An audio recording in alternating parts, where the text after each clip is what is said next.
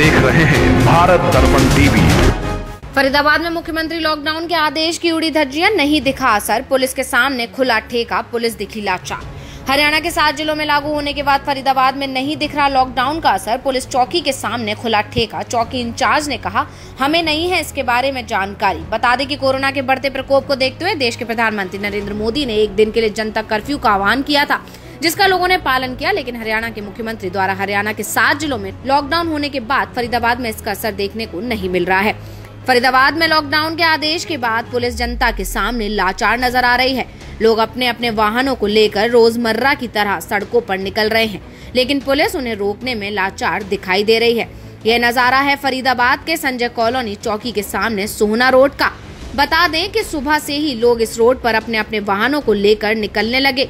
यूँ कहें कि रोज़मर्रा की तरह जैसे चहल पहल रहती थी।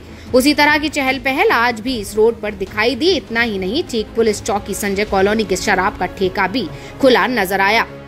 और पुलिस के सामने ही जबकि मुख्यमंत्री मनोहर लाल खट्टर के लॉकडाउन के आदेश की धज्जियाँ उड़ती दिखाई दी। जैसा कि कल मुख्यमंत्री के आदेश पर हरियाणा के सात जिलों को लॉकडाउन किया है, जिनमें फरीदाबाद भी शामिल है। इस आदेश के बाद पुलिस कमिश्नर ने बाकायदा एक ऑडियो वायरल कर पुलिस को हिदायत दी थी। किसी भी प्रकार का कोई भी वाहन इधर से उधर नहीं होगा। जिस तरह जनता कर्फ्यू का पालन किया है, उसी तरह से लॉकडाउन का भी पालन करना है।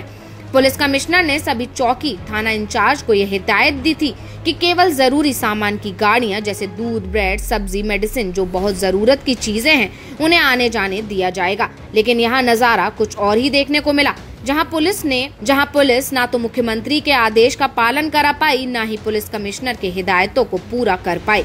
पुलिस के सामने ही जबरन अपनी अपनी गाड़ियों को लेकर निकलते दिखे और शराब का ठेका भी खुला नज़र आया। तो वही फैक्ट्रियाँ भी खुली दिखी। यूँ कहें कि फरीदाबाद में लॉकडाउन का ज़ीरो परसेंटेज असर दिखा।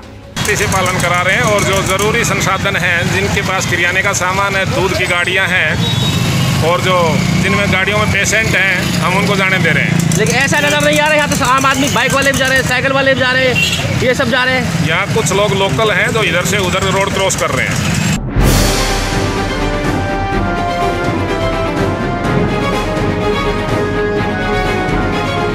देख रहे हैं भारत दर्पण टीवी।